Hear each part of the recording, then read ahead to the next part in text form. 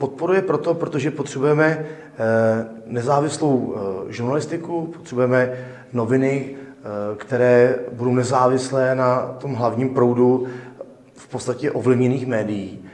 A já musím říct, že jsme v době, kdy lidé začínají šeptat v Praze, když říkají svůj názor. A to je pro mě naprosto nepřijatelné.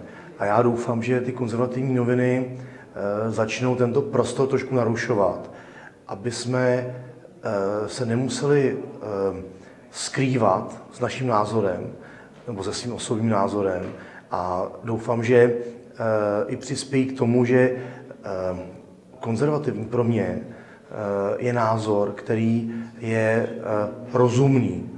Prostě je to síla rozumu, racionality a to je pro mě konzervativní. Já si myslím, že Každý konzervativní názor je zároveň názor rozumného člověka.